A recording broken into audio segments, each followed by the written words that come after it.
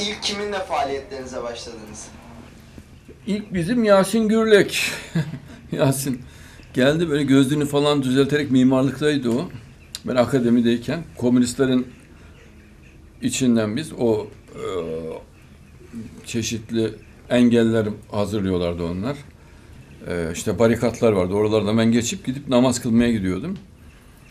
Kapının önünde böyle yüzü acı bir ifaden gözünüze affedersiniz bir şey söyleyebilir miyim? Buyur falan dedim. Ben sizden tanışmak istiyorum dedi. E, iyi tamam tanışalım çok iyi olur dedim. Ben size hayran oldum dedi. Çok cesursunuz dedi. Bak dedi böyle korkmadan geliyorsunuz falan. Sizden beraber namaza gelebilir miyim dedi. O çok iyi olur dedi.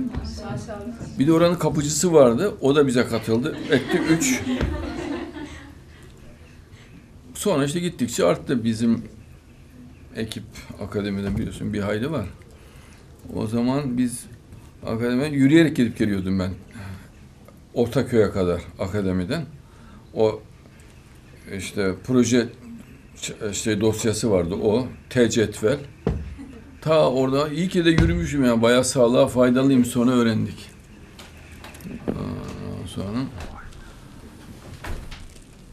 çok mahallede bir kız vardı. Beni kıskandırmak için bir orada İGD'li bir komünist vardı. Ona sarılarak falan ters bana bakıyordu falan.